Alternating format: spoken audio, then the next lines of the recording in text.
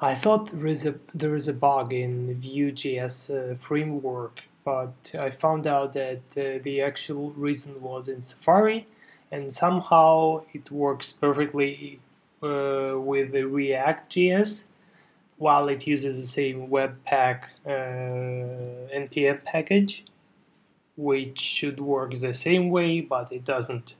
So the reason for Safari not being updated the page automatically when you um, change your code uh, is in its cache. So to clean the cache, you have to press Option Command E to to clean it, and then you can reload the page, or it will be reloaded automatically. Failure and oops, there is a mistake, so we have to change it.